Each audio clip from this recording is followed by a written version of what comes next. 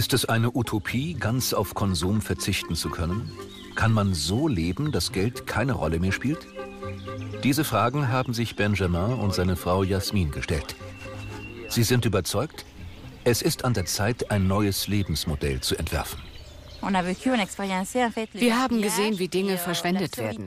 Die Waren werden produziert und die Hälfte davon oder sogar noch mehr landet im Müll. An diesem Punkt haben wir uns gesagt, da läuft etwas gewaltig schief. Das ist absurd. Wir wollten unsere Energie nicht dadurch verlieren, etwas zu kritisieren. Wir wollten eine dauerhafte Alternative schaffen, etwas kreieren. Ein fester Ort, wo andere Menschen die Möglichkeit haben, ein alternatives Leben zu entdecken. Unsere Art zu essen, wie wir hier wohnen, in der Gemeinschaft. Wir wollen so ein bisschen zur Veränderung der Gesellschaft beitragen. Ihr drei Hektar großes Grundstück soll eine Art ökologisches und ökonomisches Experimentierfeld sein. Eotopia heißt ihr Projekt, die Utopie einer besseren Welt. Die Idee ist natürlich auch Wohnräume zu haben, die so umweltfreundlich wie möglich sind. Euh, das können zunächst gebrauchte euh, Wohnwagen sein, bis wir etwas Neues bauen können. Euh,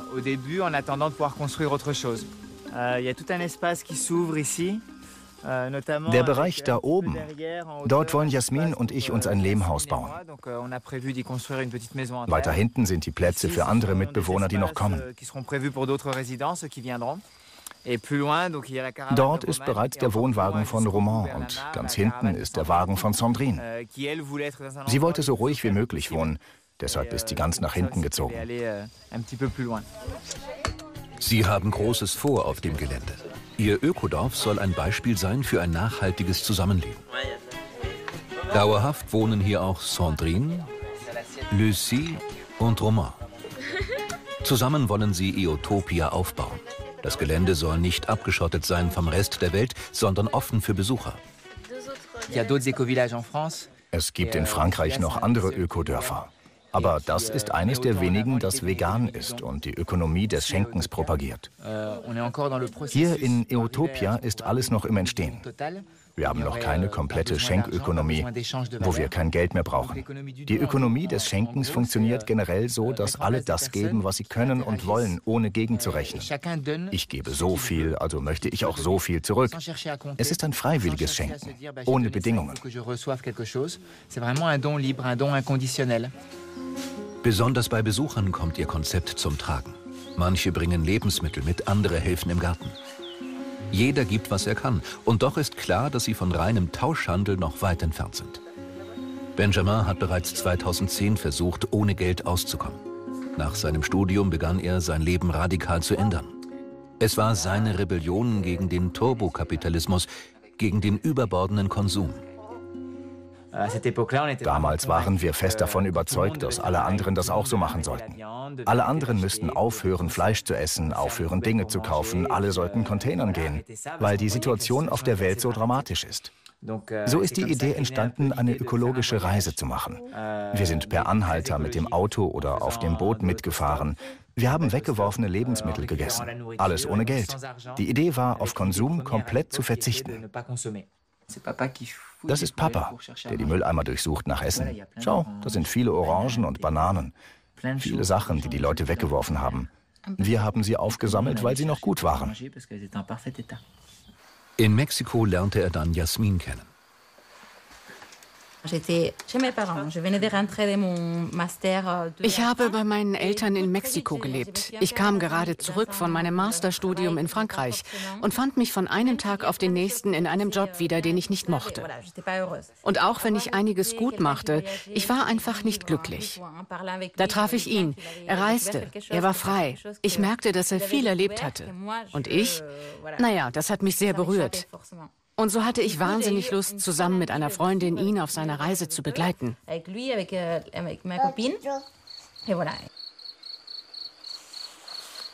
Dann wurde Jasmin schwanger. Als sie geboren wurde, hat sich alles für mich, ja für uns verändert. Wir hatten auf einmal Verantwortung. Es ging nicht mehr nur um uns. Auch wenn mir meine Ideen immer noch richtig und sinnvoll erscheinen, auf einmal rückte alles in den Hintergrund. Es gab etwas viel Wichtigeres.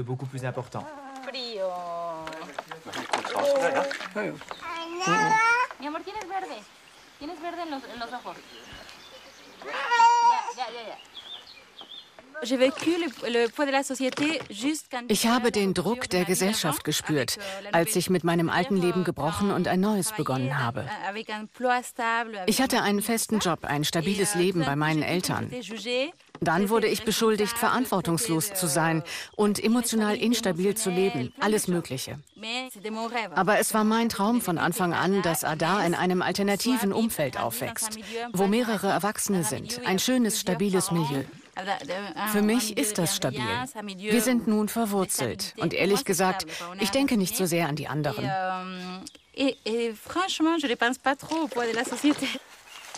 Doch eine Sache war ihr wichtig. Ada sollte krankenversichert sein. Und so mussten sie ein Konto eröffnen und sich doch wieder mit dem Thema Geld beschäftigen. Il me fallait quand même un cadre, c'est-à-dire alternative oui, Euh, ich brauchte trotzdem einen festen Rahmen. Alternativ ja, aber sozial abgesichert. Wir waren nie dagegen, im System zu sein, nie gegen soziale Hilfen oder eine Krankenversicherung. Wir wollten einfach ein anderes Leben in Frankreich. Wie aber lässt sich eine Krankenversicherung in einem Leben finanzieren, das auf Geld verzichten möchte? Wovon kaufen Sie Lebensmittel, solange Sie noch nicht als Selbstversorger leben können? 350 Euro pro Monat benötigen Benjamin und Jasmin für ihren Lebensunterhalt. Euh, Momentan kommt das Geld aus staatlicher Hilfe. Wir haben eine Tochter, deshalb haben wir ein Recht auf Kindergeld. Ich arbeite seit kurzem auch als selbstständige Unternehmerin. So kann ich von zu Hause aus arbeiten. Ich mache zum Beispiel Abschriften von Interviews. Ich spiele auch sehr gern Klavier und ich gebe gerne Kurse. Damit könnte ich mir ein kleines Taschengeld verdienen, um mir eine kleine Freude zu ermöglichen. Das würde ich gerne wieder machen. Benjamin wäre lieber komplett vom Staat unabhängig. Doch ganz ohne finanzielle Unterstützung geht es noch nicht. Die Sozialhilfe ermöglicht es mir, dieses Projekt auf die Beine zu stellen. Wenn ich das Geld nicht bekäme, müsste ich arbeiten gehen, um meine Familie zu ernähren. Das könnte ich tun, aber das wäre mindestens halbtags und nicht hier in der Gegend, sondern in der Stadt. Das würde bedeuten, dass ich das hier alles aufgeben müsste. Ich habe das Gefühl, viel mehr für die Gesellschaft zu tun, wenn ich hier das Projekt voranbringe, als wenn ich halbtags irgendwo arbeite. Wir haben alle ein Talent und das ist meins. Benjamin will mit seiner Lebensweise etwas bewegen, die Gesellschaft verändern.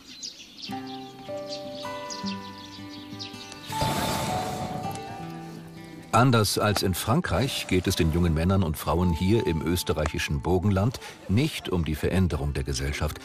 Sie wollen zunächst einmal herausfinden, ob das Leben in der Natur und ohne Konsum überhaupt etwas für sie ist. Sechs Monate versuchen sie sich als Selbstversorger.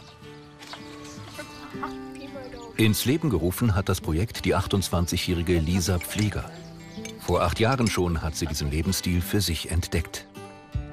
Für mich ist es einfach schon so eine Alternative zum, zum normalen Leben und einfach ein Ausprobieren und ein, und ein Spielen halt. Ne?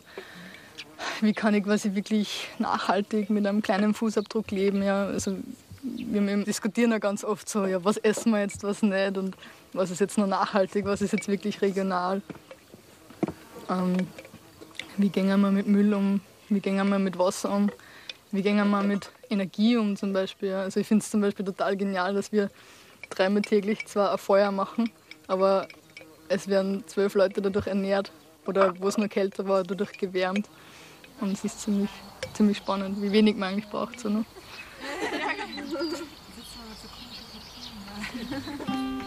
Die Österreicherin kaufte von ihrem Ersparten das zwei Hektar große Grundstück im Burgenland. Hier will sie sich ihre Zukunft aufbauen. Auch sie versucht, weitestgehend auf Konsum zu verzichten. Besonders wenn es um Lebensmittel geht.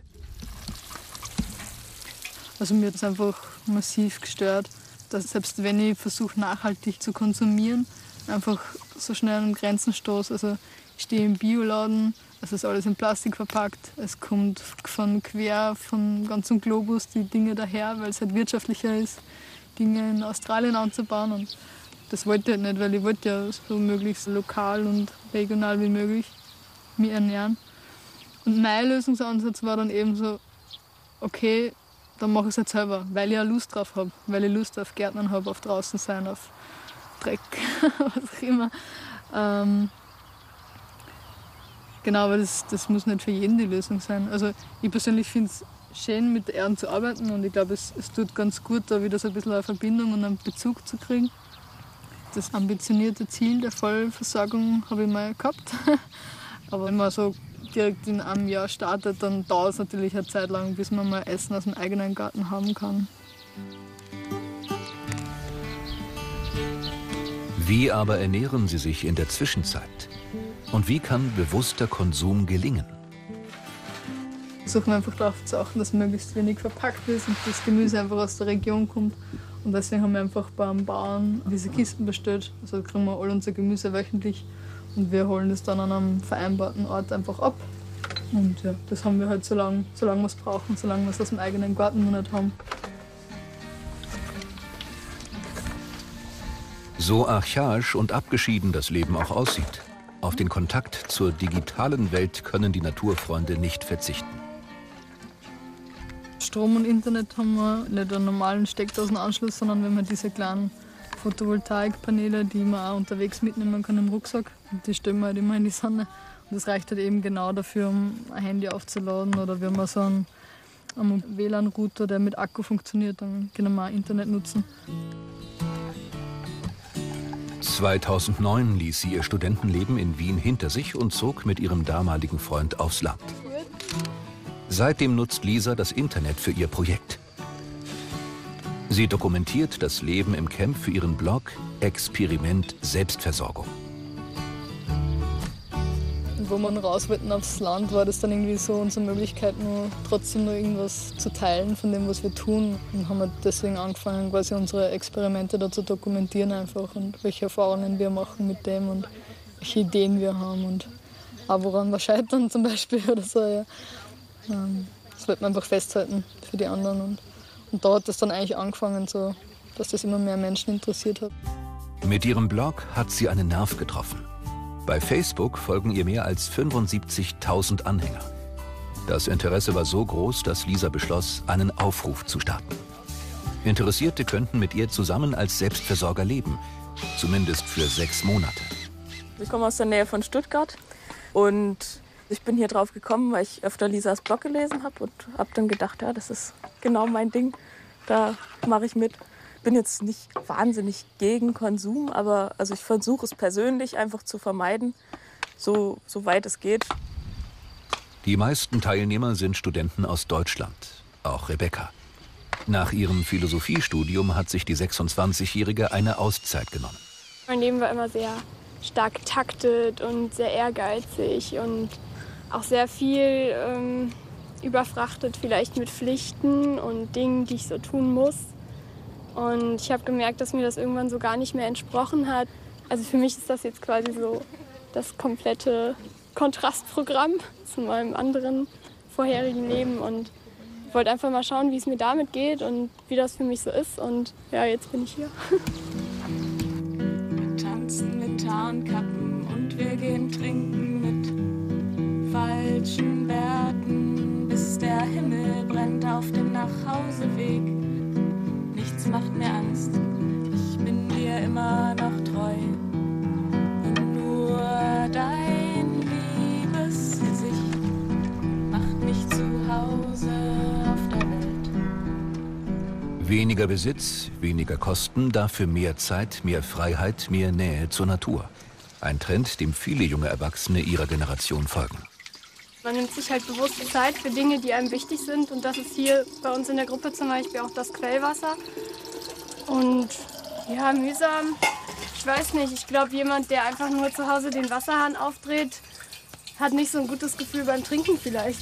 Keine Ahnung, dann wird es so total unbewusst. Und wenn man hier das Wasser holt und weiß, wie viel Kraft auch dahinter steckt und teilweise Anstrengung, mit Fahrrad hinzufahren und so, ich glaube, dann geht man auch einfach bewusster mit diesem Lebensmittel um. Auch in Frankreich sind die Mitglieder von Eutopia noch keine kompletten Selbstversorger. Noch müssen sie einkaufen fahren. Doch die kleine Gemeinde, in der sie leben, ist von Veggie, Bio und Organic weit entfernt. Im Dorf Kronat leben 568 Einwohner, meist ältere Menschen. Hat der alternative Lebensstil von Benjamin und seinen Freunden hier eine Zukunft? Ich habe viereinhalb Jahre komplett ohne Geld gelebt. Ich habe nichts gekauft.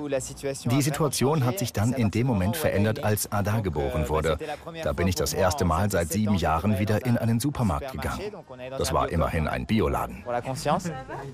Einen Bio-Supermarkt gibt es in Kronat nicht, nur den kleinen Tante-Emma-Laden von Sabrina.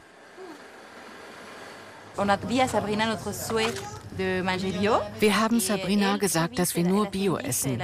Sie hat uns schnell eine Liste erstellt und uns Bioprodukte besorgt. Seitdem gibt es jetzt hier auch Sachen, die wir nehmen können. Und so kommen wir auch öfter hierher. In Sabrinas Laden begegnen sie den alteingesessenen Dorfbewohnern. Das ist für dich, mein Püppchen. Du kannst sie nehmen, Ada. Vielen Dank. Ich lebe in einer Welt voller Ausnahmen. Es gibt Dinge, die man nicht verhindern kann. Aber es ist schwarze Schokolade. Die ist vegan. Das ist für uns wichtig. Und die Schokolade macht sie dermaßen glücklich.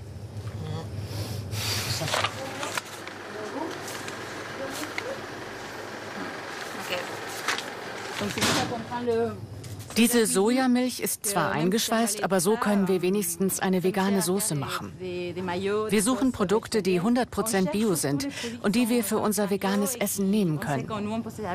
Und ja, Senf brauchen wir auch.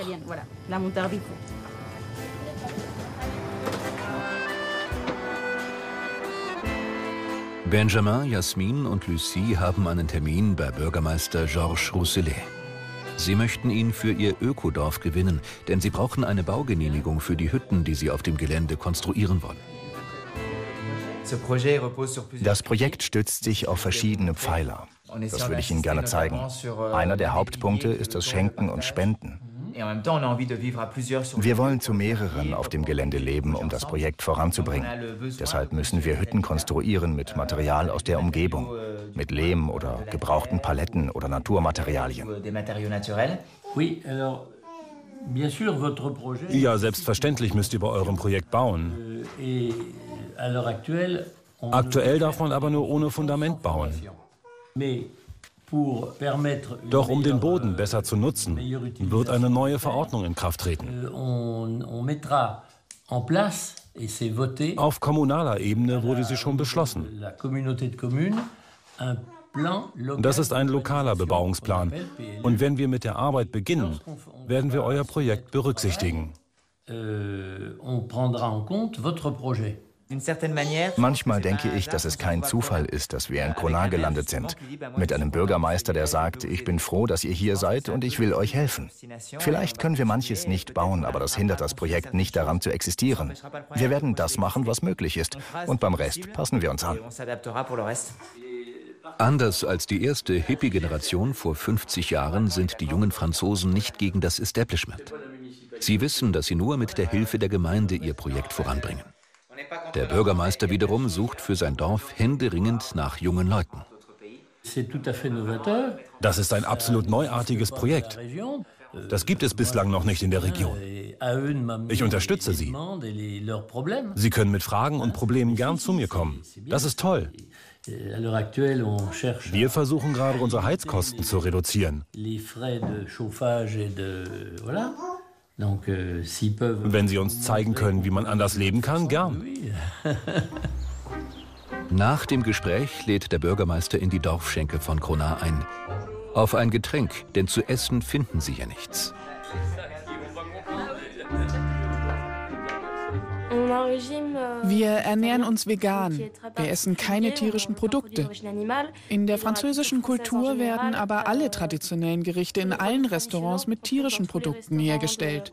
Überall. Sehr selten findet man ein veganes Gericht. Warum auch ihr Ökodorf vegan sein soll, kann der Bürgermeister so gar nicht nachvollziehen. Ist doch die Region berühmt für ihr Charolais-Fleisch. Nun ja, das ist nicht mein Ding. Nein.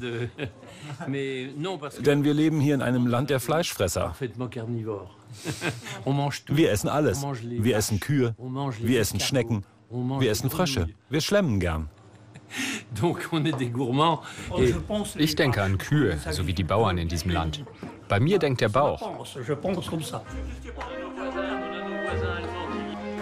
Benjamin und Lucie zeigen sich tolerant. Sie wollen die andere nicht umstimmen, sondern einfach ihren alternativen Lebensentwurf leben.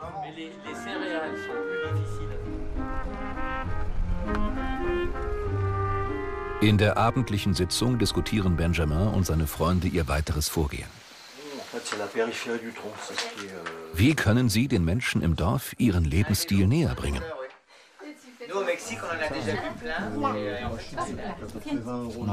Wir haben heute mit dem Bürgermeister gesprochen. Wir möchten den Dorfbewohnern das Projekt vorstellen. Was haltet ihr davon? Wenn wir wollen, dass die Leute wirklich unsere Art zu leben kennenlernen, dann sollten wir ihnen eher Gemüsegerichte anbieten. Aber wenn wir sie einladen, um einen Salat zu essen, alle bringen nur Obst und Gemüse mit und wir kochen zusammen, das könnte eine Idee sein. Das ist doch sehr klischeehaft. Die Veganer, die Salat essen. Dann denken sie, wir essen nur das. Die Leute aus Cronat haben nicht diese Klischees wie zum Beispiel in Paris. Sie wussten nicht mal, was vegan ist. Das Plenum beschließt, ein veganes Picknick für die Dorfbewohner zu veranstalten und ihnen dabei ihr alternatives Leben vorzustellen. Ich freue mich sehr darauf. Ich bin sehr dankbar, so etwas organisieren zu dürfen. Es kommt nicht oft vor, dass sich diese beiden Welten treffen. Das ist eine sehr gute Möglichkeit. Ich denke, das wird nett werden. Ich sehe es ein bisschen wie ein Fest. Wir hatten hier noch keins. Und ich spüre, dass die Leute hier ein bisschen aufgeregt sind. Das wird toll. Zurück in Österreich. Ob das Selbstversorgerabenteuer das Leben ihrer Besucher ernsthaft beeinflussen wird, weiß Lisa nicht. Aber das ist auch nicht ihr Anspruch. Sie will nicht missionieren, sondern mit ihrer eigenen Lebensweise im Reinen sein. Also ich möchte schon langfristig geplant hier wohnen, aber Vielleicht jetzt nicht ab jetzt sofort, aber ich möchte das Grundstück auf jeden Fall mal aufbauen und ein Teil davon ist eben der Bauwagen als Basis sozusagen, wo man mal einen beheizbaren Raum hat mit der nötigen Infrastruktur einfach. Für Lebensmittel zahlt sie momentan 120 Euro pro Monat. Plus Kosten für Wasser und kleinere Anschaffungen. Wie will sie das Geld zukünftig aufbringen? Ich habe Bücher geschrieben über vegane, regionale, saisonale Ernährung und über selber machen. Und genau, bin jetzt auch gerade in den Gesprächen für die nächsten Buchprojekte. Also das ist so mein Brot. Aber so wie ich halt lebe, geht es aus. Ich habe halt einfach irgendwann angefangen zu schauen, nicht was brauche ich alles, sondern was brauche ich alles nicht. Also quasi eher an der Seite angesetzt, was ich reduzieren kann, damit ich gar nicht, gar nicht erst so viel verdienen muss, damit ich mich gar nicht erst um einen Job mit hohem Einkommen umschauen muss und 40, 50 Stunden arbeiten. Für größere Anschaffungen könne sie jederzeit wieder mit Nebenjobs Geld dazu verdienen, so ihr Plan. Deshalb sieht sie sich in Zukunft und vielleicht sogar im Alter gut abgesichert langfristig Lebensmittel anzubauen, ist, glaube ich, eine ziemlich gute Altersvorsorge in der heutigen Zeit. Und genau, das ist ja nicht so, dass ich nichts einbezahle ins System. Halt ein bisschen weniger und dementsprechend weniger wird dann auch die Rente sein. Aber ich mache mir einfach keine Sorgen, wenn ich schon, wenn ich eh mein ganzes Leben quasi so ein bisschen Überlebenskunst übe, dass ich dann auf irgendwas verzichten muss, das glaube ich einfach nicht. Ja. Im französischen Ökodorf laufen die Vorbereitungen auf Hochtouren. Heute wollen die Bewohner von Eotopia das erste Mal die Nachbarschaft empfangen. Rund 20 Dorfbewohner haben sie eingeladen. Es ist toll, wenn sich Menschen dafür interessieren. Besonders Leute wie der Bürgermeister oder ältere Menschen, die nicht unbedingt Kontakt mit dem alternativen Milieu haben. Das gibt unserem Projekt einen Sinn. Ihr Projekt läuft seit einem Dreivierteljahr. Im Internet zählt die Seite Eutopia viele Besucher. Doch vor Ort haben nur wenige Dorfbewohner das Gelände bislang betreten. Das ist ein schwieriges Projekt, aber es ist ein gutes Beispiel. Alle Dörfer müssten so sein, dass die Leute zusammenleben, sich gut verstehen, ein gemeinsames Projekt haben.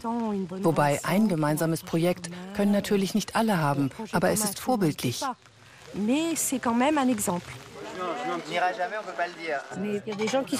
Es gibt aber Leute, die misstrauisch sind. Das ist alles, was ich sagen kann. Ich glaube, ein Teil der Leute ist misstrauisch. Wir wollen euch auf ein Glas Kefir einladen. Das ist unser Aperitif, ohne Alkohol. Das ist ein Getränk auf der Basis von Bakterien, eine Art Pilz. Das ist wie Kombucha, wenn das einer kennt. Das ist sehr lecker. Wir trinken ein Glas davon und danach haben wir hier ein Buffet. Wir haben kleine Schilder daneben gelegt, damit ihr wisst, was ihr esst.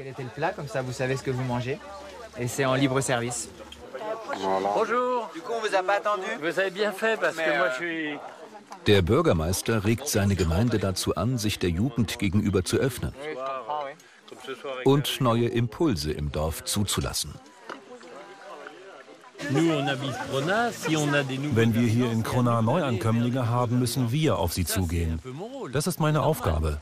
Ich sage, schottet euch nicht ab, sonst werdet ihr alt und habt keinen, der nach euch weitermacht. Das ist das Problem. Die Generationen müssen sich erneuern. Es gab Generationen, die eine Menge bewirkt haben. Doch dann hatten sie niemanden, der weitergemacht hätte weil sie vergessen hatten, sich nach jungen Leuten oder neuen Bewohnern umzusehen. Trotz Wohlwollen und Neugierde. Für viele bleiben die jungen Leute von Eutopia Exoten. Aber die Akzeptanz ihnen gegenüber ist gestiegen.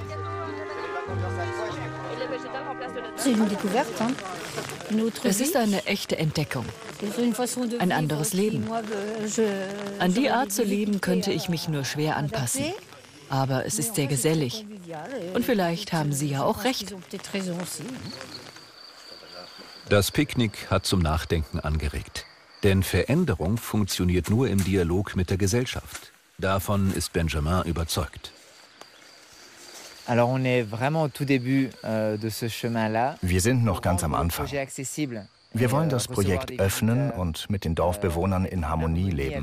Mit dem Bürgermeister, mit Sabrina und dem Bäcker. Wir wollen uns wirklich in die Gesellschaft integrieren. Deshalb können wir nicht losgelöst in unserer kleinen Blase ohne Geld leben. Das wäre wirklich eine Utopie.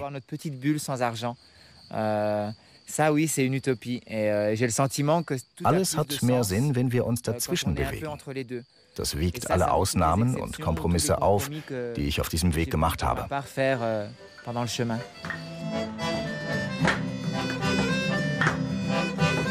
Benjamin und seine Freunde sind pragmatische Idealisten.